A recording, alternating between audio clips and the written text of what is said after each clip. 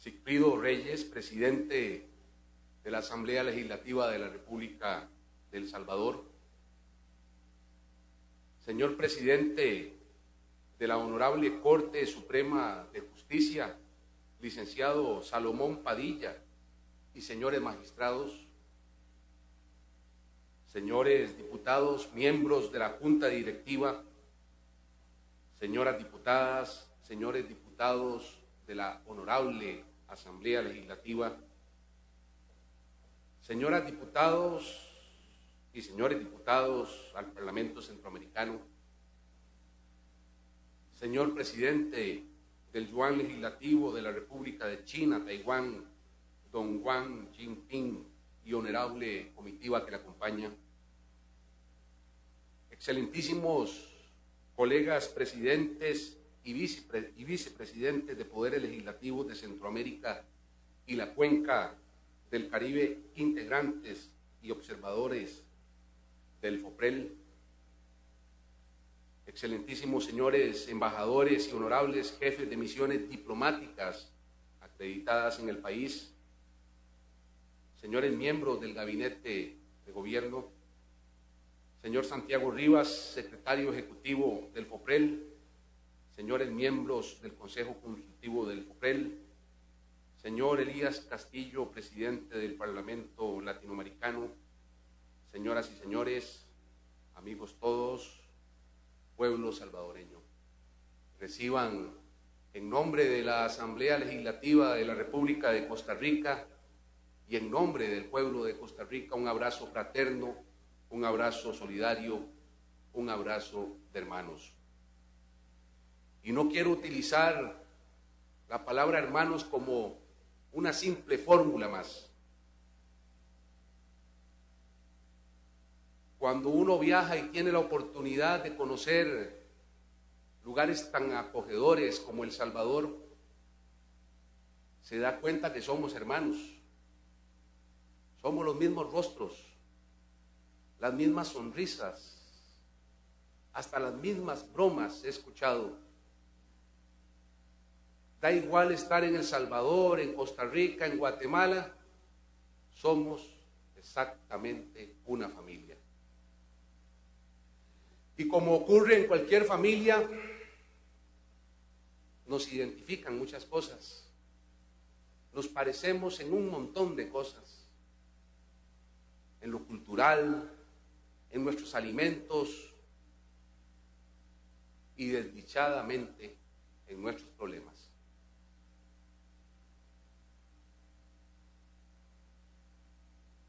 Nuestras costumbres y nuestras tradiciones nos unen y generalmente los problemas nos desunen. Esfuerzos como el que hoy se está realizando a instancia del FOPREL, del presidente Reyes, son esfuerzos realmente significativos. Grandes amenazas se ciernen sobre nuestra familia centroamericana. La delincuencia organizada, que ya no solo aterroriza al ciudadano común y corriente, sino a nuestras instituciones, públicas la mayor parte de las veces indefensas frente a ese poder transnacional de delincuentes que quieren hacer de nuestro territorio un sin ley. La falta de legitimidad de los poderes públicos es otro problema común. Falta de legitimidad frente a un ciudadano que tiene grandes expectativas, más grandes necesidades y muchos deseos de que se den pasos firmes a favor de la inclusión social y de una mejor distribución de la riqueza. Y desde luego, uno de los grandes temas que nos convoca en esta reunión, el cambio climático el cambio climático y las consecuencias casi que inmediatas que pueden sacudir nuestra forma de vida, la forma de vida centroamericana, pueden sacudir nuestra alimentación, pueden sacudir nuestra subsistencia o la subsistencia de nuestros hijos. Cambio climático frente al cual tenemos que tomar medidas regionales a la brevedad posible. Es por eso que la Asamblea Legislativa de la República de Costa Rica apoya y apoyará con denuedo, con ahínco y con esfuerzo toda aquella actividad regional que nos una como una familia y que nos una para impulsar soluciones conjuntas, soluciones regionales. Señoras y señores, siendo tan iguales, siendo tan hermanos, siendo una familia, no podemos seguir pensando que las soluciones tienen que tomarse entre todos. No podemos seguir legislando ni podemos seguir gobernando desconociendo lo que ocurre a nuestros vecinos. Para problemas regionales, soluciones regionales. Y eso está más que demostrado hace 20 años atrás, cuando cinco pueblos hermanos, contra todo pronóstico, contra muchas fuerzas y muy poderosas, le dijeron sí a la paz. Por esa razón es que en mi país, partiendo de la existencia de la sana división de poderes, principio y base de los sistemas democráticos, este primer poder de la República ha anunciado que incentivará y fortalecerá cualquier esfuerzo regional, especialmente aquellos que promuevan la armonización de legislación para superar nuestros problemas conjuntos.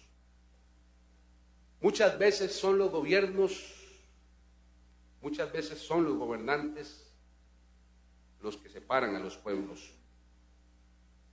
Pero todas las veces son los pueblos los que se unen entre sí. Muchas veces son los gobiernos los que olvidan.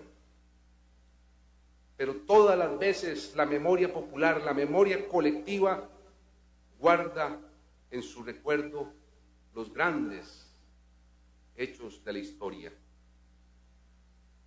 Es por eso y en ese contexto que en nombre de la Asamblea Legislativa de la República de Costa Rica deseo agradecer a la República de China, Taiwán, en la persona del excelentísimo presidente del Yuan Legislativo, Wang Jinping, toda la ayuda toda la cooperación, toda la mano que nos brindó al pueblo de Costa Rica durante muchísimos años.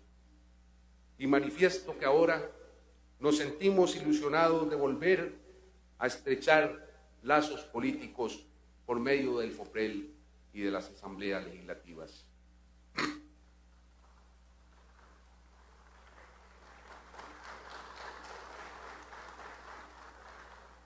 No deseo dejar pasar este momento sin hacer dos comentarios para terminar. Los políticos en toda Centroamérica también hablamos mucho.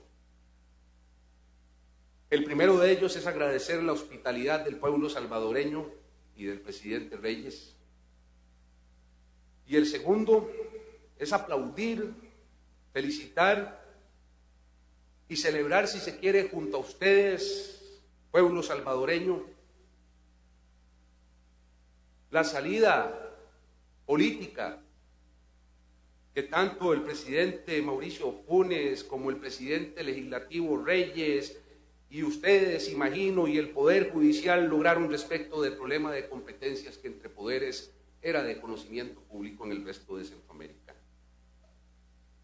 La solución a dicho conflicto